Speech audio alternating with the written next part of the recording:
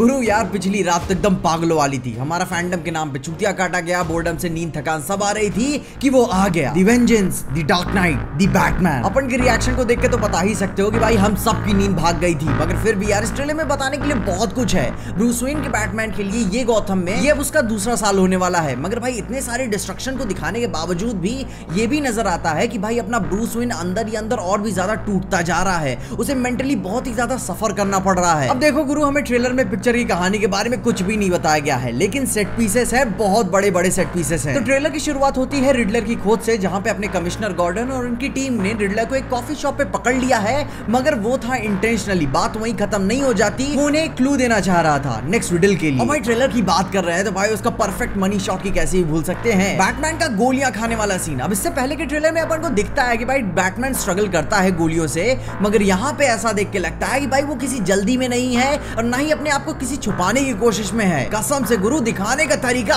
एकदम ओपी है। उसके बाद हमें बैटमैन का स्काईलाइट वाला लोगो देखने को मिलता है, मगर इसमें इसे तोड़ दिया गया है और इसे किसी बिल्डिंग की छत पे डायरेक्टली रखने की जगह, उसे किसी अंडर कंस्ट्रक्शन बिल्डिंग के बीच में रखा गया है, वहाँ से वो प्रोजेक्ट हो रहा है। और उसी के बीच में वो डायलॉग चलता रहता है कि डर एक औज़ार है। जब ये रोशनी आसमान को छूती है तो ये किसी का बुलावा नहीं, बल्कि एक चेतावनी है गौतम के अराजक तत्वों के लिए। और इसी डायलॉग के खत्म होते होते हमें जैसे पिछले ट्रेलर में दिखाया गया था कि जैसे जोकर मेकअप वाले जैसे गुंडों से वो लड़ रहा होता है। जिससे ये डायलॉग और ये सीन देख के ये बात तो पूरी तरीके से क्लियर हो जाती है। यहाँ पे बैटमैन अपना एक ब्रूटल प्रोटेक्टर है, जो किसी उम्मीद की किरण से ज़्यादा एक बुरे सपने के बराबर है, जो कोई नहीं चाहता कि उसके सामने आ पड़े। इसी फाइट सीन में अपन को दिखता है कि भाई ब्रूस अपना स्ट्रगल कर रहा है, अपने जान वाले गुस्से को लेकर कि भाई आगे चल के इसका परिणाम क्या होगा। और उसके अगले ही सीन पे अपन को हॉस्पिटल वाला सीन देखने को मिलता है, जहाँ पे बैटमैन भी है किसी पेशेंट से मिलने के लिए, मगर उस पेशेंट का चेहरा नहीं दिखाया गया है, जो कि यही हैरान करने वाली बात है कि भाई अपने पॉल डायनो का तो भाई रिडलर कंफर्म हो गया है कि वही प्ले कर रहे हैं उसे।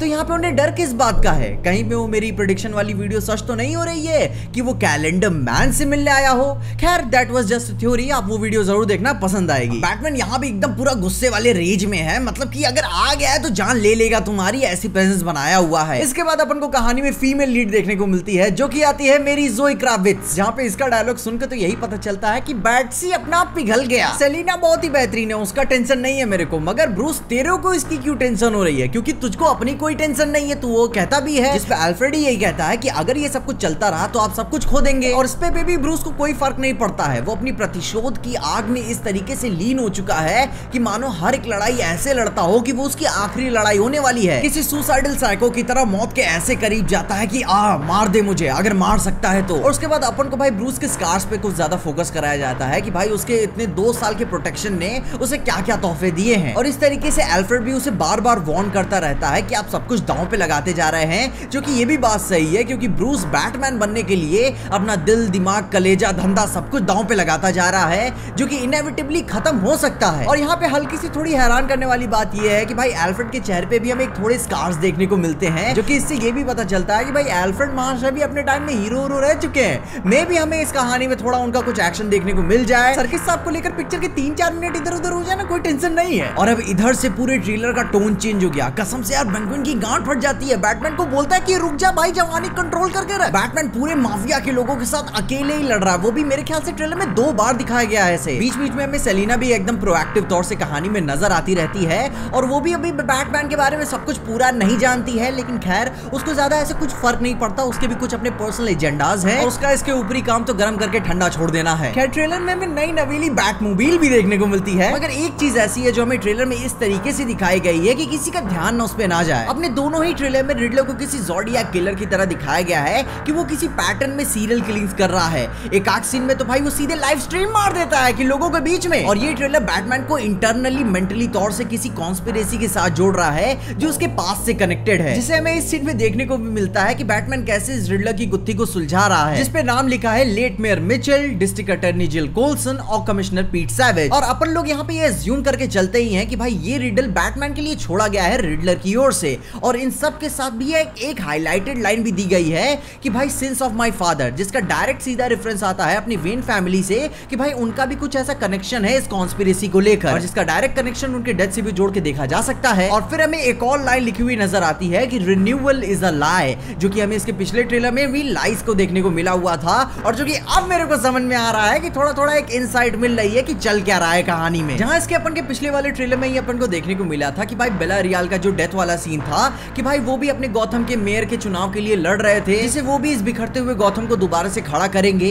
और मे भी ये भी हो सकता है कि भाई रिडलर इन सारे लोगों को मार के स्पेशली पॉलिटिशियंस को, किसी तरीके की कोई चीज़ एक्सपोज करना चाहता है। रिन्यूअल एज अ लाइक का ऐसा हिंट देते हुए, क्योंकि भाई गौतम का रिन्यूअल इन सारे गंदो कामों को कवर अप करने के लिए कोई एक ऐसा एजेंडा था, जिसे भाई रिडलर नहीं चाहता। और इसी सच का पता लगाने के लिए भी ब्रूस किसी भी हद तक जाएगा। क्योंकि ठीक इन्हीं सारी कॉन्स्पिरेसी वाले सीन्स के बाद अपन को कहानी में बैटमैन का प्योर हॉरर देखने को मिलता है। मतलब कहते हैं ना कि दबदबा बनाया हुआ है वो चीज़। शुरू में सेलिना बैटमैन से फ्लर्ट कर रही होती है मगर इस सीन के दौरान में उसे जेनुइनली डर लगने लगता है। मगर सेलिना अपनी स्ट्रॉन्ग वुमेन वो मैटर संभाल लेगी। उसके गन पे थोड़ा सा फोकस दिखाया गया है और वहाँ से भागने की जगह भाई उसमें और भी ज़्यादा लीन होती जाती है क्योंकि उसके भी अपने कुछ पर्सनल एजेंडाज हैं। अब देखो अगर आपने बैटमैन की एनिमेटेड हेलोवीन वाली मूवी देखी होगी या फिर अगर आपने इसकी हेलोवीन वाली कॉमिक भी पढ़ी होगी तो आपको ये बात पता होगी कि सेलिना कार्माइन फैल्कोनी की नाजायज औलाद है, जो कि उसका भी अपने बाप के साथ काफ़ी तनातनी चली है। मगर यार बैटमैन का पागलपन और भी बढ़ता रहता है। वो अकेले में भी गुस्सा है, लोगों से लड़ते हुए भी गुस्सा है, हर जगह गुस्सा है, और ये आग उसके अंदर बढ़ती ही जाती है। मगर इस लास्ट के अंडरग्राउंड वाले सीन के दौरान में, जहाँ बैटमैन फेयर के साथ पुलिस वाली कोई टीम को लीड कर रहा होता है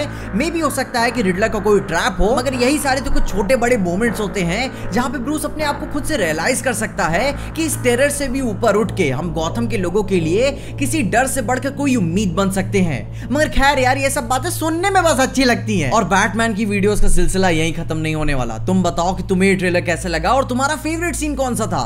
इसके अलावा अगर मैंने कोई बात मिस कर दी हो तो वो भी मुझे कमेंट से ज़रूर बताना। और सबसे बड़ी बात कि भाई, तुम्हारी थ्योरीज क्या है? भाई, इस ट्रेलर की डेप्थ बहुत ही ज़्यादा है। काफ़ी सारी चीज़ें निकल सकती हैं। तो तुम अपने ओपिनियन मुझे कमेंट से ज़रूर बताना। मे भी नेक्स्ट वीडियो में मेंशन भी मिल जाए। इसके अलावा अगर आपको वीडियो देखे कहीं भी अच्छा लगा, खुशी या मज़ा आया तो लाइक मार दो इस वीडियो को। इस चैनल पे कहीं से भी नए आ गए हो तो सब्सक्राइब तो मार देना इस चैनल को। और अगर आपको वीडियो को ज़्यादा ही पसंद आ गई तो अपने दोस्तों शेयर कर देना। मेरे इंस्टाग्राम और ट्विटर हैंडल के साथ आपको मेरे फेसबुक पेज की भी लिंक नीचे डिस्क्रिप्शन मिल जाएगी, जहाँ पे मैं यही सारी वीडियोस बहुत ही प्लीजिंग तरीके से एडिट करके विद कैप्शन अपलोड करने लगा हूँ। तो वहाँ मुझे फॉलो करके चेकआउट करना मत भूलना और देखते रहिए। पीजे एक्सप्लेन